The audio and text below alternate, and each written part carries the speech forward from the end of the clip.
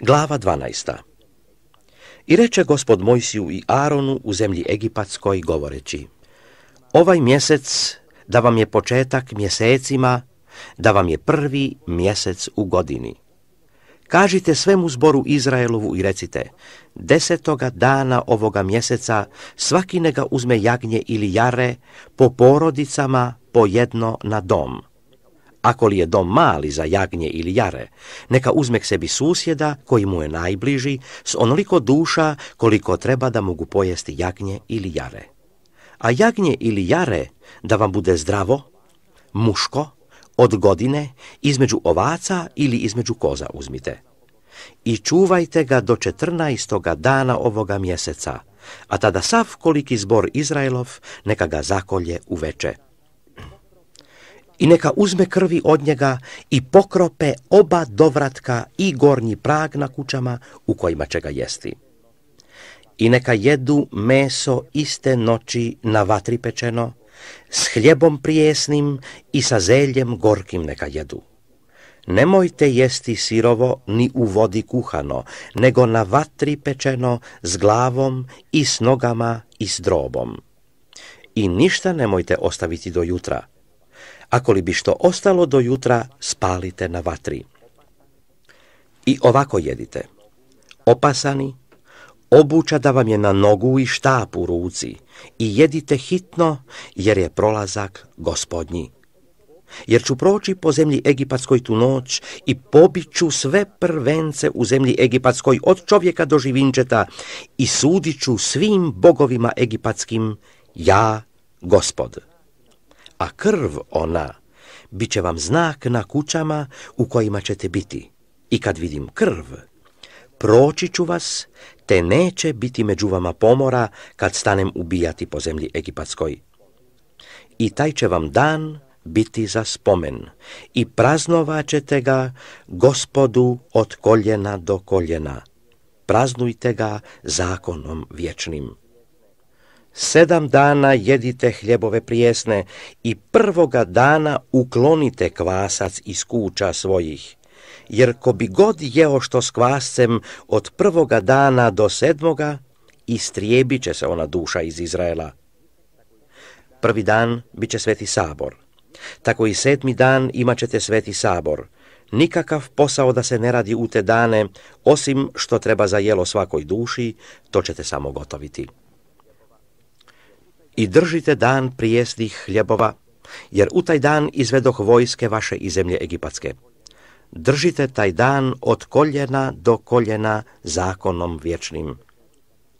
Prvoga mjeseca 14. dan uveče počnite jesti prijesne hljebove, pa do 21. dana istoga mjeseca uveče. Za sedam dana da se ne nađe kvasca u kućama vašim, jer ko bi god jeo što s kvascem, istrijebit će se ona duša iz zbora Izraelova, bio došljak ili rođen u zemlji. Ništa s kvascem nemojte jesti, nego jedite hlijeb prijesan po svim stanovima svojim. I sazva Mojsije sve starješine izraelske i reče im, izberite i uzmite sebi jagnje ili jare po porodicama svojim i zakoljite vazam. I uzmite kitu isopa i zamočite je u krv koja će biti uzdjeli i pokropite gornji prag i oba dovratka krvlju koja će biti uzdjeli i ni jedan od vas da ne izlazi na vrata kućna do jutra. Jer će zaći gospod da bije Egipat, pa kad vidi krv na gornjem pragu i na oba dovratka, proći će gospod mimo ona vrata i neće dati krvniku da uđe u kuću vašu da ubija. I držite ovo kao zakon tebi i sinovima tvojim do vijeka. I kad dođete u zemlju koju će vam dati gospod, kao što je kazao, držite ovu službu. I kad vam reku, sinovi vaši, kakva vam je to služba, recite, ovo je žrtva za prolazak gospodnji, kad prođe kuće sinova Izraelovih u Egiptu, ubijajući Egipćane, a domove naše sačuva. Tada narod savi glavu i pokloni se. I otidoše i učiniše sinovi Izraelovi, kako zapovjedi gospod preko Mojsija i Arona, tako učiniše. A oko po noći popi gospod sve prvence u zemlji Egipatskoj, od prvenca faraonova koji iz čaše sjedjeti na prijestolu njegovu, do prvenca sužnja u tamnici i što god bješe prvenac od stoke.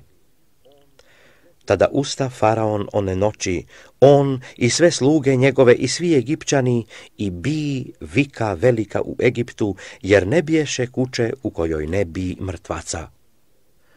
I dozva Mojsija i Arona po noći i reče, ustajte, idite iz naroda mojega, i vi i sinovi Izraelovi, i otiđite, poslužite gospodu kao što govoriste. Uzmite i ovce svoje i goveda svoja kao što govoriste, i idite, pa i mene blagoslovite. I Egipćani navaljivahu na narod da brže idu iz zemlje jer govorahu, izgibo smo svi i narod uze tijesto svoje još neukislo, umotavši ga u haljine svoje na ramena svoja. I učiniše sinovi Izraelovi po zapovijesti Mojsijevoj i zaiskaše u Egipćana nakita srebrnih i nakita zlatnih i haljina. I gospod učini, te narod nađe ljubav u Egipćana, te im dadoše. Tako oplijeniše Egipćane. I otidoše sinovi Izraelovi iz Ramesa u Sokot, oko šestotina tisuća pješaka, samijeh ljudi osim djece. I drugih ljudi mnogo otide s njima, i stoke sitne i krupne vrlo mnogo. I iz tijesta koje iznesoše iz Egipta ispekoše pogače prijesne, jer ne biješe uskislo, kad ih potjeraše Egipćani, te ne mogaše oklijevati niti spremiše sebi brašnjenice a baviše se sinovi Izraelovi u Egiptu 430 godina.